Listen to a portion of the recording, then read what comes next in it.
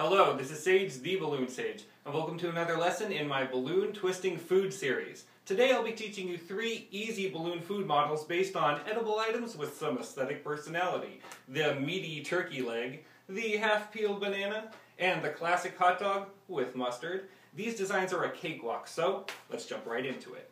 Let's begin with the turkey leg. Inflate a 5-inch mocha brown, uh, pretty much all the way, and tie it. Inflate a white 260 about halfway. You're going to tie that directly nozzle to nozzle. You want it very tight right here. Perfect. Okay. And we're going to create the bone. So uh, about four fingers, maybe four and a half. You can do it any way you want. Uh, the easiest way is two little pedal. And uh, if you want, two little stabilization pinch twists. Put in the center or on the side.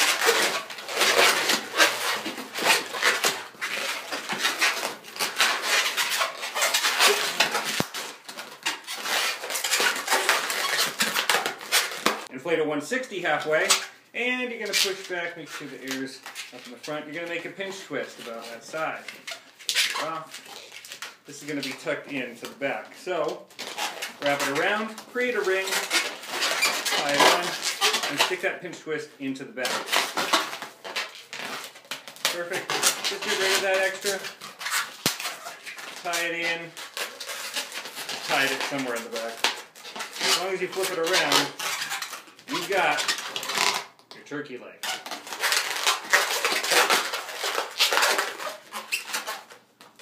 Onto the banana. Now the only tricky part about this design is you need to make sure that the peel is very malleable. You want to be able to bend it, you want it soft. I'll show you how to do that. So let's jump over here. Begin by creating the bottom, the unpeeled portion of the banana. Let's say about this size. Now shaping it is important. You want to push from the bottom, bend it, and make sure that this portion is more in place. So push back, back. And you can get it to cooperate. Now onto the pinch twist. Two of them in fact. One and two. Kind of flat I guess. Onto the peels. This is up to you, but you do want to make sure nice and stretched out. There's one part of the peel. Down, twist it through.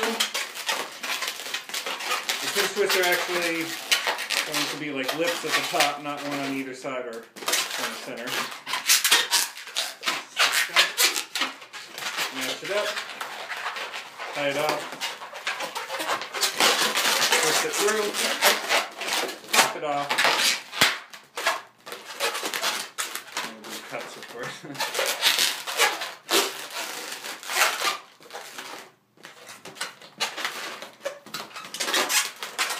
Cut a portion of your white 260 off, about like that. Inflate it, tie it, and then tie it directly into that peel. Very flush against these pinch tight.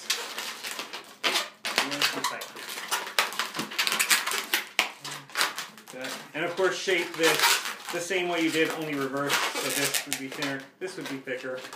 And there you go, a half-peeled, delicious-looking banana.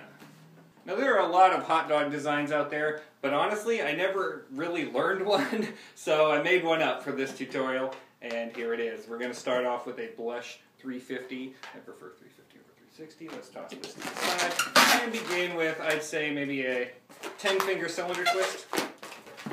We're going to come back around, match that up, and tie it off. I would knot it. Okay.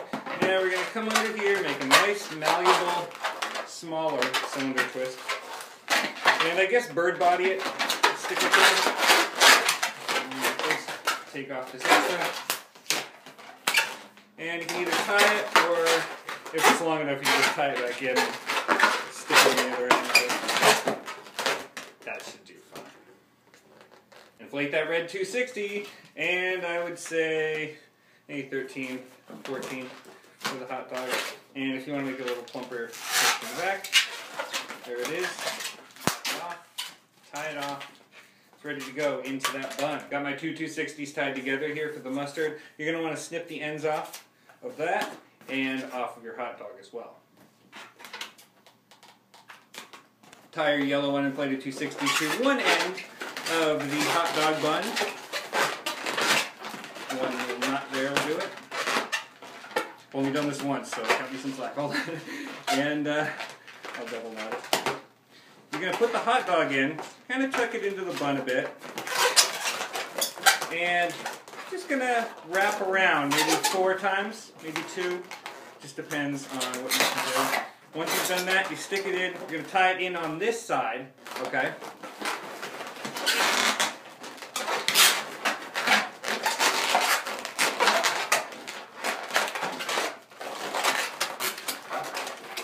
Your finished hot dog should look like this with the four little squirts of mustard tucked in there and tied in on either side. Thank you so much for joining me on this tutorial. I know it was a fast one. I'm experimenting with trying to get more information in a quicker amount of time. Hope you liked it, and uh, I'm glad to be doing the balloon twisting food series again. This one's a lot of fun. Please subscribe, and I'll see you soon.